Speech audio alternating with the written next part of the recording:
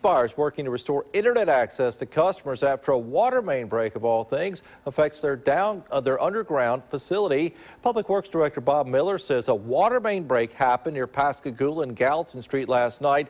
Now, C Spire believes the force of that break damaged their fiber optic lines underground. Crews have been working to restore internet access to customers affected. No timetable, but all the repairs to the lines will be complete